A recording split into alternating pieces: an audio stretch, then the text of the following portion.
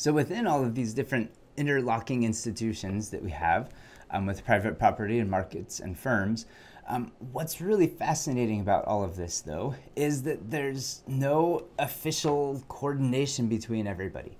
Um, there's no government agency that decides that the Laura Ingalls Wilder family farm will be a dairy farm and their neighbor cannot be a dairy farm, it must be some other sort of farm. Um, that just kind of emerges naturally. And so, one, one fascinating um, way of looking at this here's Atlanta here. Um, if you imagine kind of a CVS in downtown Atlanta, um, it has its, its um, shelves full of food and it decides what it's going to um, purchase and sell to people. And so, if you think of one specific food item, like a bag of Skittles, they have Skittles in a couple places in the store, like in the main candy aisle, and then in the aisle right before you check out, um, so they can get your money um, with impulse buying. Um, so they decide somehow um, how many Skittles they should buy and what price they should set. And that price just comes naturally. What's fascinating is there's no um, Ministry of Skittles in the United States that determines the price of Skittles. Um, even like the Mars company that generate that generates that creates Skittles, they don't have like set prices, and they require people to um, sell Skittles at a specific price. It just kind of happens. And so, what's really fascinating is if you ask the question like, who feeds Atlanta, and who determines which grocery stores will sell what at what price, and which grocery stores should buy stuff at what specific time, there's no actual coordination um, for all of that. It just kind of happens behind the scenes magically. Um, as CVS and Kroger and all of these other companies um, just kind of pay attention to general prices um, and um, just pay attention to what is happening in the market. Um, if CVS decides to double the prices for double the price for Skittles, it will notice pretty quick that it's not going to sell enough Skittles. Um, so then if it cuts the price by like in half and starts selling giant bags of Skittles for like a dollar, um, they'll run out really fast and then they'll notice that they didn't earn their money back from from the price of purchasing the Skittles. And so that was a bad mistake. And so eventually they'll settle on kind of a price um, just by themselves. Um, they'll like they're pretty good at it now. They have all sorts of inventory control. But if you were like a brand new company that had no access to computers, um, or no access to other data or trends, then you would just kind of stumble into the price. You would notice if it was too high, nobody would buy it. If it was too low, everybody would buy it, and that would be bad. And so you're just going to fiddle with the price until it settles somewhere. And what's fascinating is as the Skittle, as CVS does that um, with Skittles, then the Skittles company will also change their production and they'll change how many Skittles they're making based on the demand for Skittles. Um, and again, nobody's telling them what they're doing. They're kind of looking at purchases from CVS and Kroger and Costco and everybody else. Um, but there's no general like agency that is in charge of regulating Skittle quantities. It just kind of happens. Um, and this is just one specific product, these Skittles, but it's the case for every single product. Um, all the food that you buy is just kind of naturally settles on some sort of price, and that's just how it is. Um, and the really fascinating thing about this is that price changes depending on context.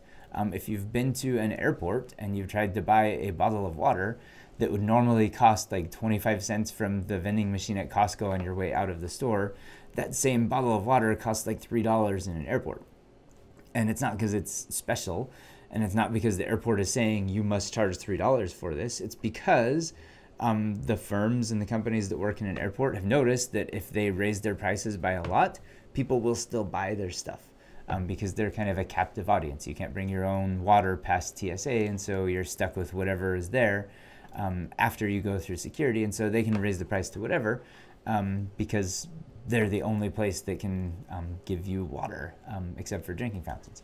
Um, and so that's that's kind of you're locked into a higher price, and it's not because they're all coordinating um, evilly against you. There's no like um, shady cabal of water vendors in the airport. It's just that they can. Um, and they may have just stumbled into that. Like if they notice that the price is too low, they're going to run out of water really fast. If they start charging you like $30 for a water bottle, nobody's going to buy. And so they'll eventually settle on some price in between, and it just happens. Um, and so that's this, this magical concept here um, for how all of this, this market based institution stuff just kind of emerges, um, and the prices that are out in the world just kind of emerge. Um, one really fascinating example of this, and we would do it in person if we were in person here, and you should do this if you're ever in a larger group of people. Um, this is kind of a fun game you can show off to your friends of how economics works. Um, what you can do is you can simulate this idea of um, prices just kind of emerging naturally. If you use um, a deck of face cards and pretend that people, uh, and hand out face cards to a whole bunch of people, um, people who get black cards are sellers. And in this game, their goal is to sell in this example, a paperclip, but it could just be whatever. Um, and they're supposed to go find, go out into the world and find somebody with a red card and sell them this paperclip or piece of candy or whatever they're they're trying to get rid of. Um, the number on the card here, right here, the seven, is the number is the the price that the seller cannot sell below. So that's kind of their minimum price. And so if a buyer says, "I want that paperclip for three dollars," um, the seller cannot. They're stuck at seven. So they can sell it for seven or eight or nine dollars or ten dollars or whatever, but their their minimum is seven. So imagine a whole bunch of sellers out in the world with these different prices that are kind of their minimums. That's all they can. That's all they can sell for. Um, then you have people out in the world that are buyers, where they'll have kind of this this price here. The number on this red card is their budget. They cannot pay above this number. So this person here is stuck with a three. And so they could go out into the world to try to find a paperclip or whatever product we're trying to sell here, but they're stuck with $3 and that's all they can work with.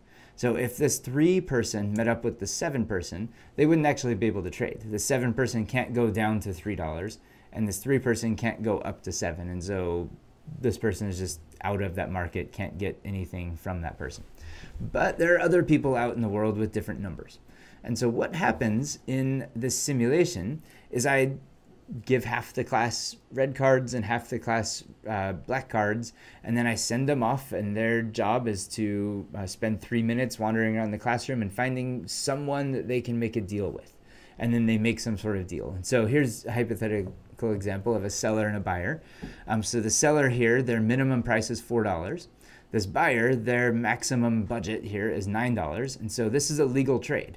Um, the buyer has enough money here and the seller can go like they're they're under their budget and so they can make some sort of deal here. There's all sorts of deals they could make. They could settle on four dollars.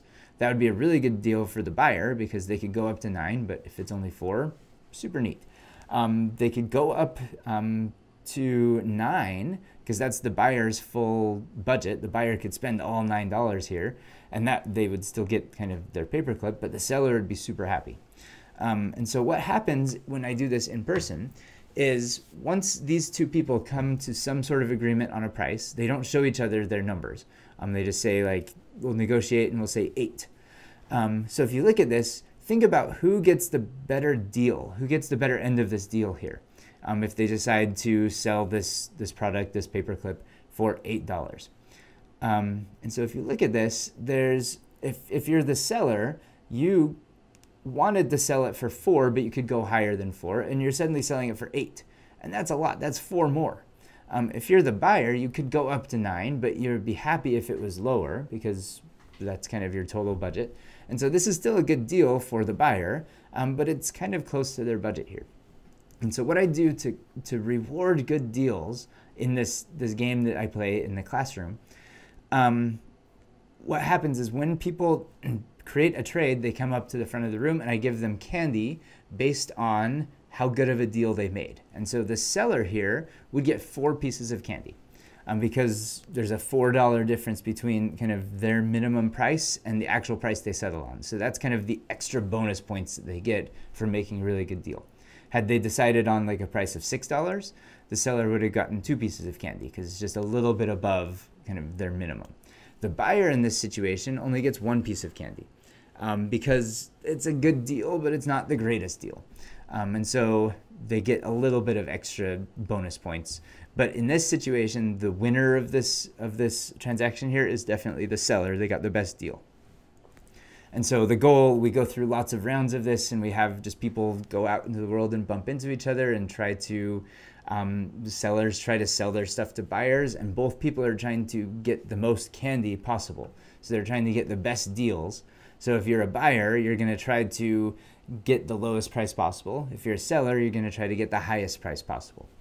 And so people are out in the world and bumping into each other. And what happens every time I do this um, is some sort of general price settles down um, generally on $6 or $5, depending on what cards I include for the general classroom.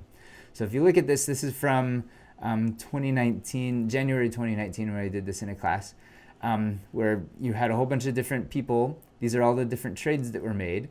So you see the, the first pair of people that came up to the front of the classroom, they decided $5 was a good price. The next pair it was three dollars, and so that was really good for the um, for the seller. Um, I think in that situation they got a ton of bonus points because, um, or for the buyer because they had a budget that was way high, and so they got like seven bonus points there. And then the prices just eventually kind of settled down um, after the first round. If you notice how variable it is, um, it eventually settles down on a general price um, regardless of people like trying to take advantage of their neighbors or their classmates. So if you if you have like a really low, if you're a, a seller and you have a two, you're gonna go out there and start demanding ten, um, so you can get as many points as possible. But nobody's gonna want to buy it, and so you have to start lowering lowering your price down to something else. And so eventually people settle down on like five or six, and that's the general price for everything. Um, in later rounds, I impose a tax, which which raises the price by two dollars. And what happens every time is that the general price that everybody settles on also increases, and it makes it more expensive for everybody. Um, and so what's this is what happened at GSU in August of 2019. Um, the same thing.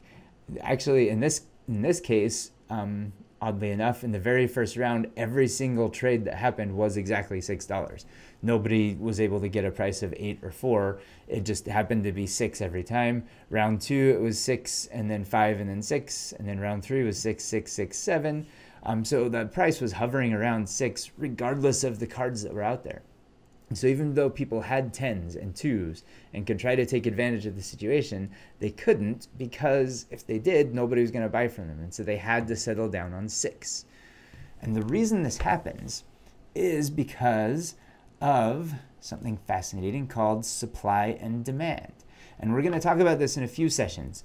Um, in lots of economics classes, you spend the first like two or three sessions just talking about supply and demand, and you draw lines and curves and do all sorts of math and figure out where they intersect. We're not going to do that yet. Um, we will get there, but don't worry about it yet. Um, this is just to show kind of this idea of, of how all of this coordination happens without kind of a minister of paperclips or a minister of cards out in the world. So if you take all of the black cards that are out in this classroom, so if you imagine there are nine nine people that were sellers in this classroom, and if you lay them all up like this, um, just in kind of a line here, um, going up from lowest to highest, um, we can call that a supply curve or the supply line because these are what the sellers have. So there's some sellers that like their minimum price is 10 there are other sellers their minimum price is 2 and so it just kind of goes up and what's really cool is if you make a similar line with all of the buyers and what they're willing to pay and what their budgets are all the way down you get this. This is called a demand line or a demand curve. In economics they always call lines curves because they have the potential to be curves um, even though it's, it's just a line here. And so most of the time when we talk about like supply curves and demand curves, they're just straight lines, and then they could potentially be curvy, but um, curve includes lines. Um, so what's fascinating here is if you look at these are all of the buyers, their budgets that they had. What happens is where do they cross? The two cross right here at six, and that is the price that always gets settled on regardless of um, me trying to intervene or people trying to take advantage of others, um, it always kind of settles back down onto six, and that's that's the general price that just emerges. Um, it's not always that way. You can you can manipulate this if you add more red cards that are low. Um, that will shift the shape of this line, and then where they cross will be somewhere else. And so in other classes, I've been able to raise the price to like eight, um, depending on how many red cards I put in or how many black cards I put in. Um, but you have total control over what the ultimate ultimate average price will be.